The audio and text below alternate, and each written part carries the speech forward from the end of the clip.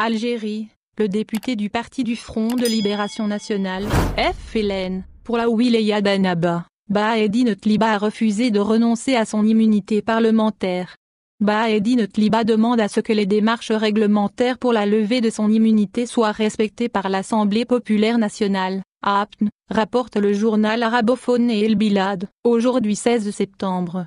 Contrairement à d'autres responsables politiques, le député de Hanaba ne compte pas abdiquer facilement. Baedine Tliba pousse la commission des affaires juridiques de la Chambre basse du Parlement à suivre la procédure de la levée de l'immunité comme prévu par la loi.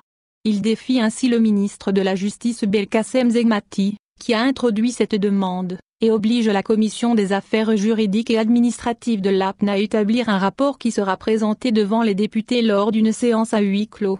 Pour rappel, Baedine Tliba est accusé de financement occulte de la campagne de l'ex-président Abdelaziz Bouteflika et des listes de son parti lors des campagnes pour les élections législatives et locales de 2017.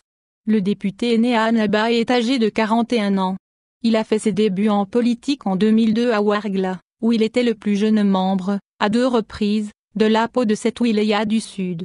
Il revient à Annaba lors des législatives de 2012, où il avait été élu député sous la casquette d'un parti méconnu, le Front National Démocratique, FND. Baedine Tliba s'investit ensuite dans le FLN et surtout dans le cercle proche de l'ancien président de la République Abdelaziz Bouteflika.